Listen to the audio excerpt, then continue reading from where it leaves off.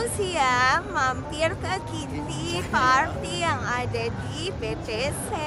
Tuh, di sini udah ada baju-baju hewan, baju kucing. Ini Kitty Party loh. Tuh, itu ada di Andy sama Kororofo. Terus ada kan aviary kita tuh bocil-bocil bisa main sama kucing itu di sini loh guys.